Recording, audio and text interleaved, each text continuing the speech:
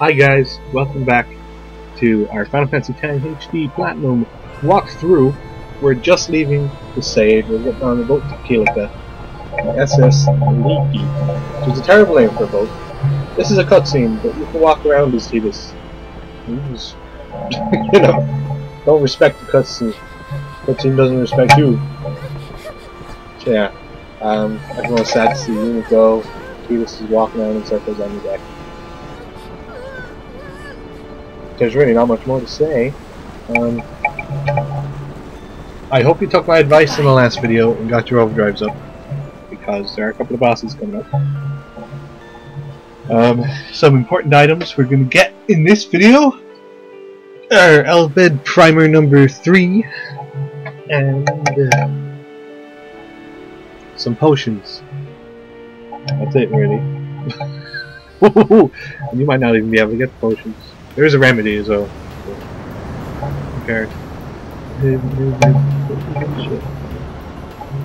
But anyway. So we're on a boat. We can have tons of fun here once all this cutscenery is over. So here Tidus assaults an innocent bystander and steals his binoculars. Nothing is said of this. Thinks he can do whatever he wants because he's celebrity or whatever. Swipe the dude's binocs. Take a look around. There's Lulu. Linger on the bosom. Let's see that again in slow motion. Mm -hmm. Bosom. Yes, indeed. Alright, so. Damn! There's Yuna.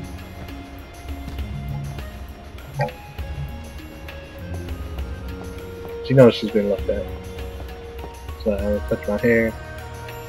I see you, he's away. And then the guy takes his binoculars back. Somehow. From a squatting position, I don't even know what happened there. That's okay. You can uh, you can talk to that guy again, but he won't let you take his binoculars. If I am right, he asks you how many seagulls there are around the boat. I didn't talk to him to find out. I just said, you know, give him binoculars. We've talked to him again, I think he does. Uh, I believe there are 11 seagulls, so tell him that he might give where you came from. I thought that was on a different boat ride. And, uh, if you interfere with Yuna's pilgrimage, we won't take it lightly. You don't have to talk to Lulu here. I don't know. But like I said, I was talking to Lulu. So that's fine. Now, there's the binocular guy.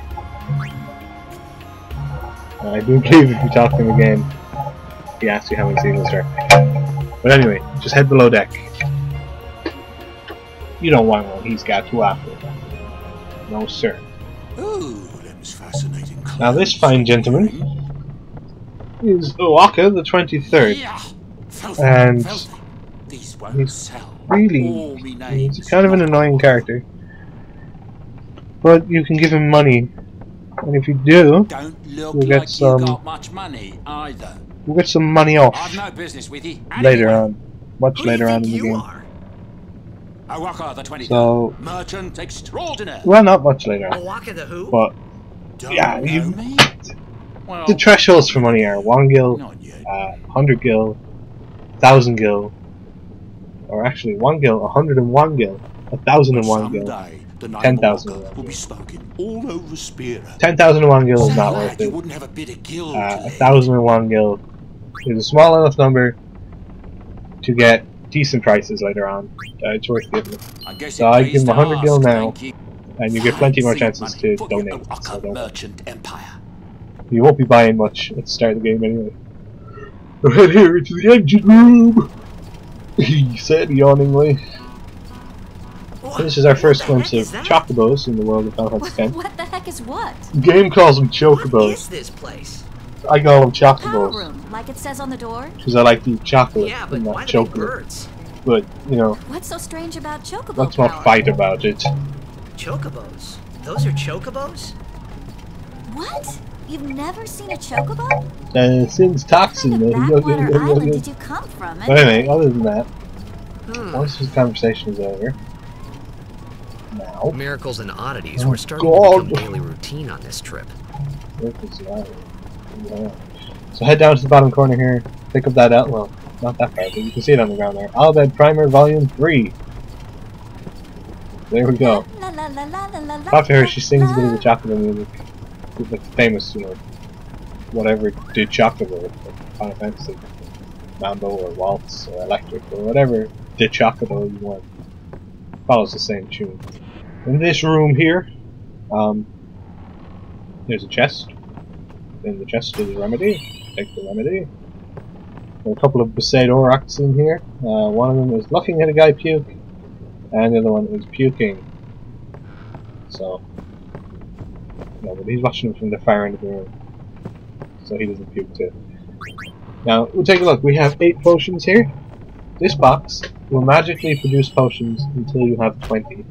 If you come here with 0 potions, you got 20. You came here with 8, so we'll get 12 potions. I fast forwarded it, because you don't want to pick the box a bunch of times. But uh, there we go, our final kick.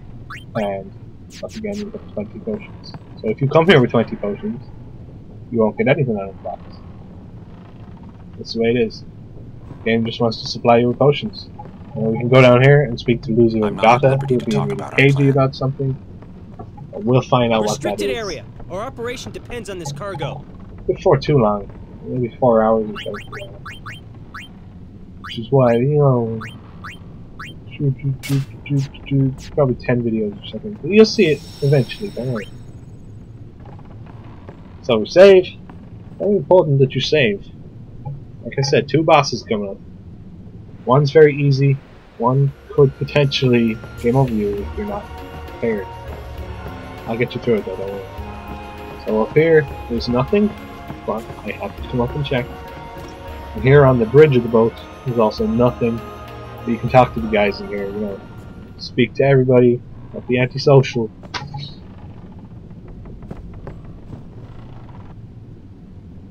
Now, what you want to do to progress the game is speak to Wakka and to Yuna.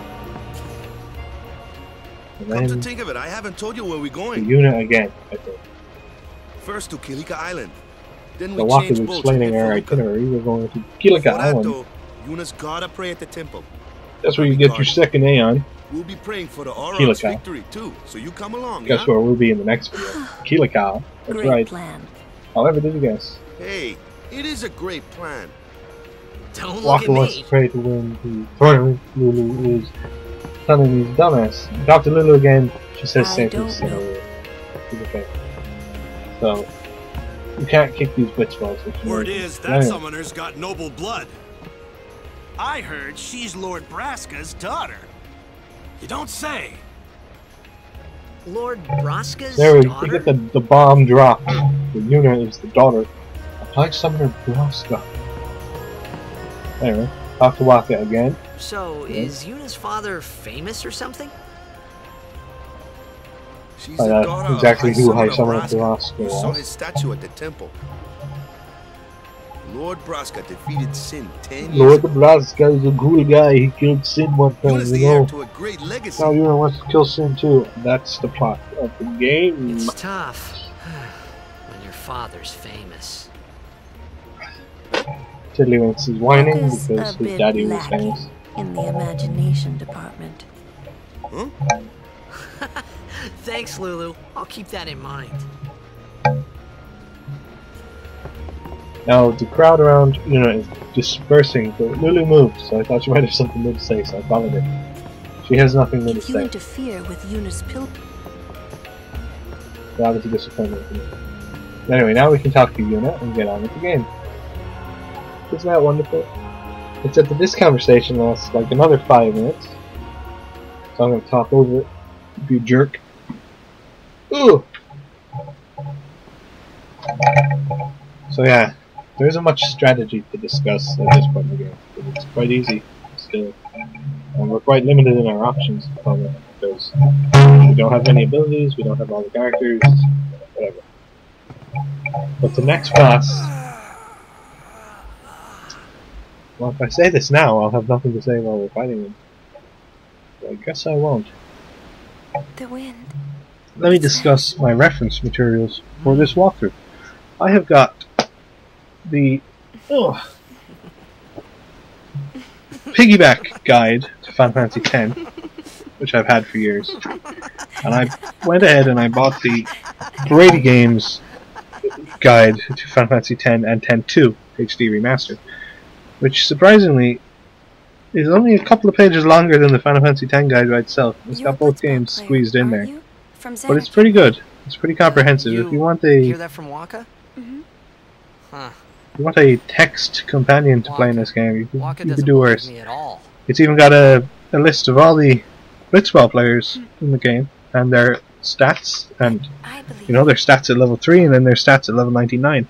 So it's very useful if you are interested in Blitzball. The original guide didn't have that. Stadium, All lit up. Um, even obviously, night. it goes into some of the trophies Blitzball tournaments are held that you wouldn't normally, and the stands are obviously, wouldn't have in the PS2 How do you know that? Uh, it's man it's a little lacking Jack in some areas. Like he was my father's it, guardian. it, it gives very brief descriptions of each area, very brief boss descriptions. Um, but it does the job. You know, I can't complain My about it. The 10-2 side of it, His name is Jecht. From what I'm looking at, like I I never played 10-2 religiously, but I don't think this guide would get you 101% or 100% or whatever it You is to get the a secret meeting ending. like this must be the blessing of Yevon. So you're going to be looking at two playthroughs, probably. Sounds like him, but it can't be him. But I again, I say that I barely flicked Why through it. It does go into all the different dress spheres and stuff, My oh man. He died and all the different uh, ten years ago, off the coast of Zanarkand. sphere holders. I forget what they're called. I'm Garment sorry. grids. That's it. He went out Yeah. to sea for training one day. But the 10 side of it is good. I can vouch for that. It's got a good bestiary. It doesn't go into detail No on the monster arena then. the way the PS2 one did, but it goes into detail on Blitzball. Why, So- that's the day that Jecht came to I guess you take what you get. It's true, I first met Jecht ten years and three months ago. Yeah. I remember that was the day my father left. Those two are still talking. Unbelievable. The Um, date fits, doesn't it? Yeah. So when the time comes to play yeah, Blitzball, but how would he get here? there is a mandatory game, and I will play that. I've already played that. I won. It's hard to win. I'll give you some advice, and anyone can win. It takes some luck than skill.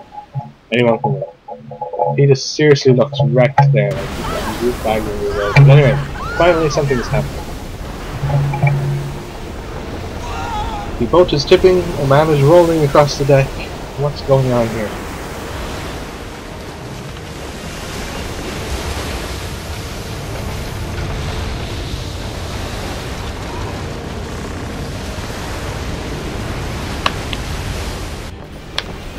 Big waves, man.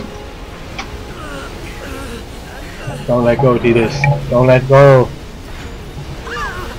Her fingers clipped right through your hand and she, she, she slipped away. Fortunately, she landed on the giant crossbow that all boats come with. And Kimahri with his uh, paws when he slide around the deck. Here we go. The white whale. Sin himself. Attacking our little boat. Sir! Bit of a delayed reaction from the man, but that's okay. Nice cutscene.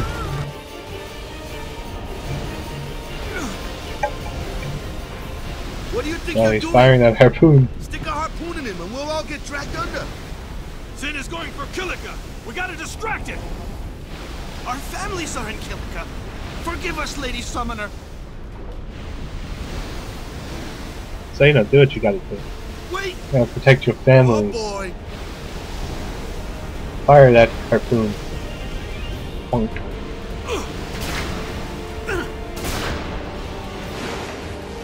So, yeah.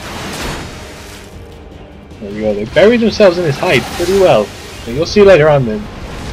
Other people try to attack him, Just can't even get near him.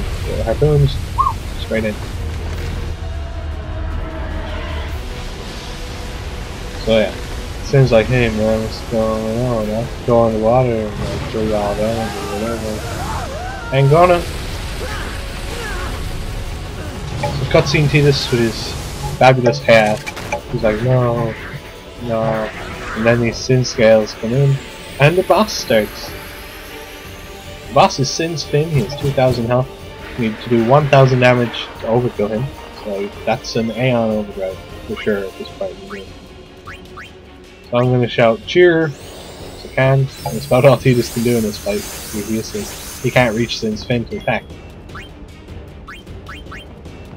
Now we bring in Wakka. And we'll start killing Sin Scales. Only kill two of them. If you kill two, there'll be one left. And he'll never send more down. Kill all three, Finn will restore them. So you just kill two of them. Uh, let that be enough. See, we're not going to kill him. Wakka his ball at Sin's Fin. Do a small bit of damage. not much. Uh, Kimahri can use his Lancet technique to sap HP from Sin. Very useful. And Lulu can cast spells on him. And other than using Valefor, that is the only way we can reach Sid's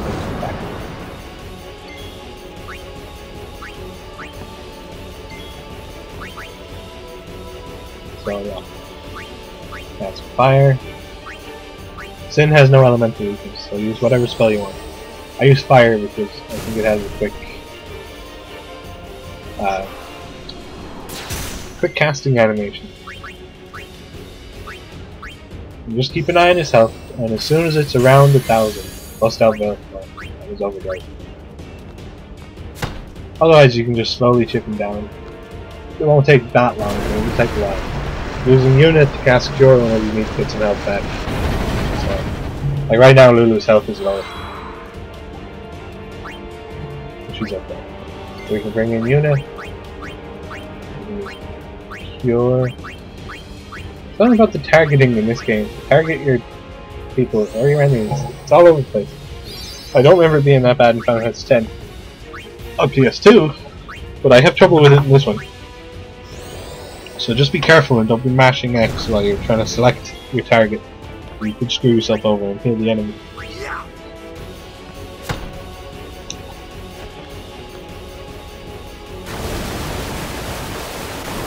So you, as you can see, as long as there's one sin spawn on the field, all Sin's Fin will do is move around. You just kill them all off with Fire to worry about that this way. Now I'm going to summon Valefor.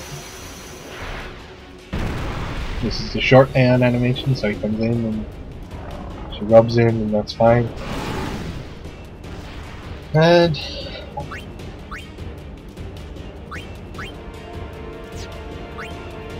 we're gonna use Energy Blast on Sin's Fin. You can't use it to target both him and the Sin scales.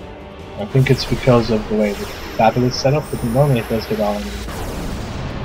Because Sin's Fin is off. Anyway, kaboom! Well. That did 1500 damage, so I could have ended this fight a lot sooner. But I didn't want to take any chances. So there's our overkill. And that's the end of that fight. Not too bad.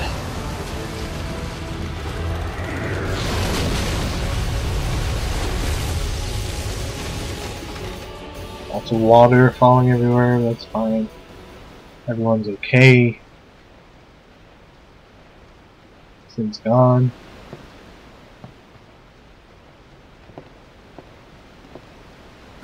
Except where is Tidus? Wakka reaches the only sensible conclusion and abandons the ship.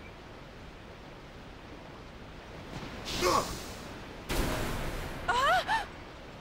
Which is fine because he can hold his breath underwater forever and ever and ever and ever and ever and ever and ever and ever and ever. And luckily so can because otherwise he would be dead.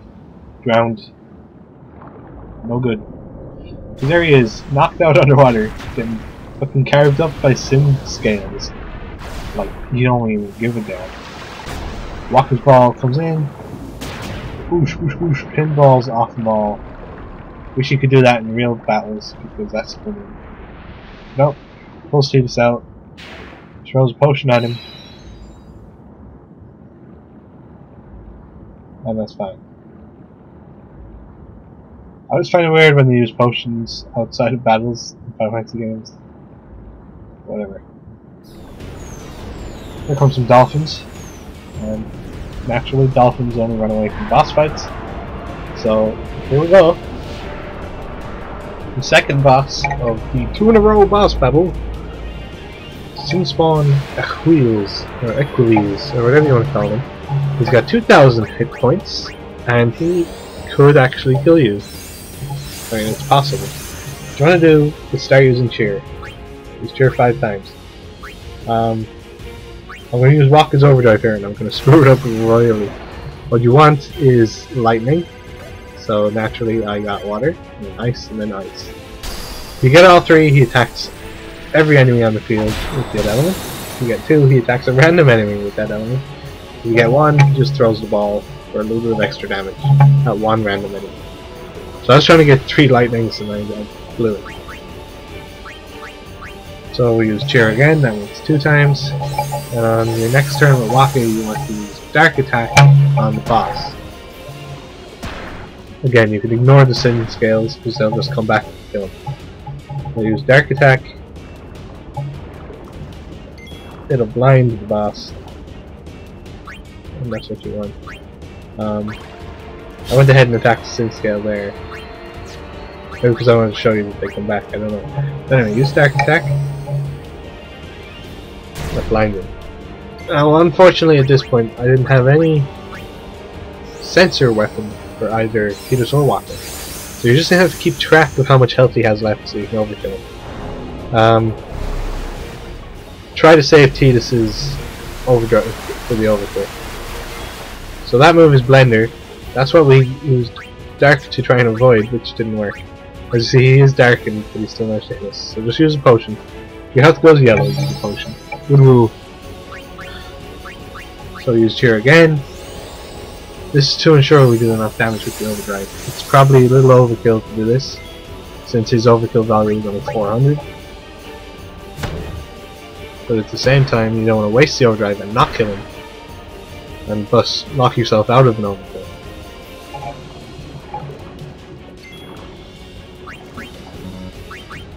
So cheer again.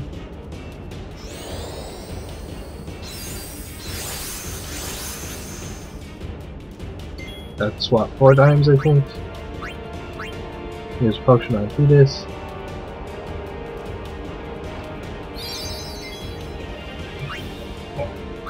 So, you know, hopefully the strategy is obvious here.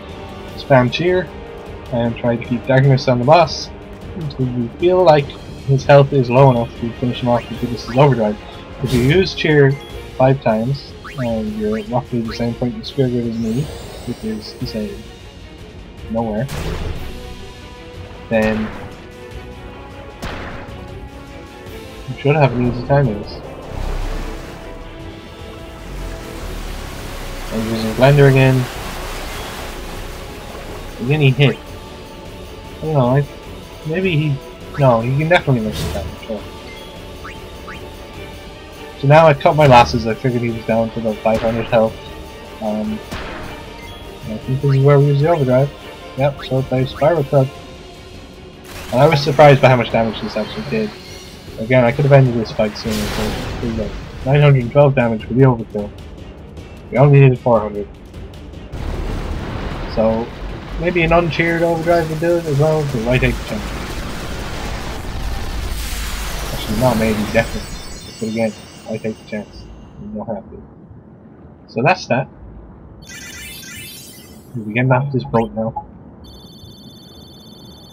We got a couple of items there, and neither of them are great, but they're random drops. You know, bosses don't always drop specific loot. They can they can randomly drop things with certain things. So you got a lot of ice there, so they can drop ice touch. I don't know which boss it is that drops it. Equities probably.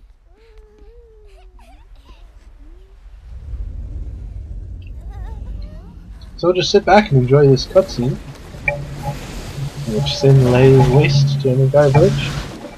That's what he does. This is where we realize Sin is actually a pretty bad dude, not just a whale who sucks people up. It's transports them through time. He does legit kill people, and no reason. He also has a city on his head for some reason.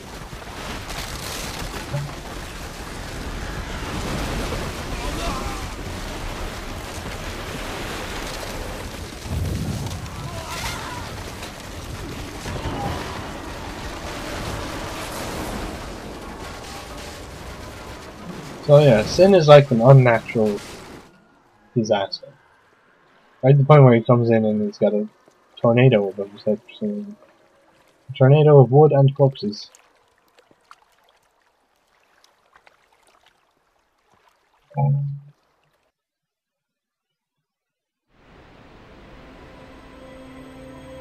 When Sin attacked Zanarkand that day, I woke up in Spira. I kept hoping it would work in reverse, wah, too. wah, wah. So, Tidus aside, uh, we arrived at will the scene of the Defeat sin. I must Uh, defeat Yuna is sin. filled with a newfound resolve to defeat Sin. I was just fooling myself. Tidus puts his head in her lap for some Maybe it was that day. Everyone's sad. See, under the burning sun, Sad things happen. Everyone gets sad. And I started to give up hope. You know, that's how it is. I was in a foreign world. I wasn't going home. This was my new reality, and I was stuck in it for good.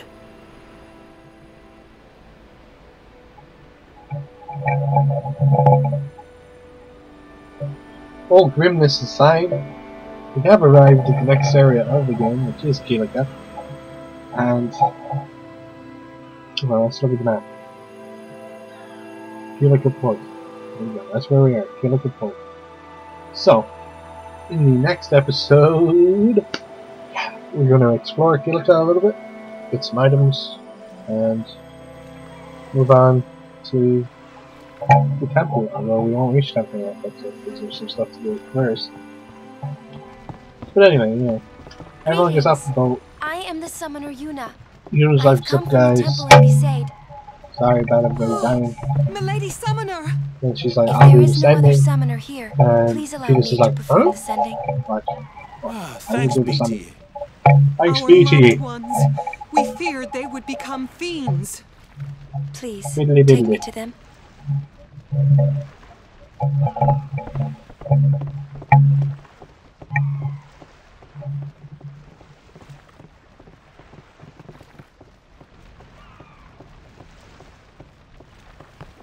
We'll go see what we can do to help in town. So that's the end of that video. Thanks for watching, guys, and I'll see you in the next one.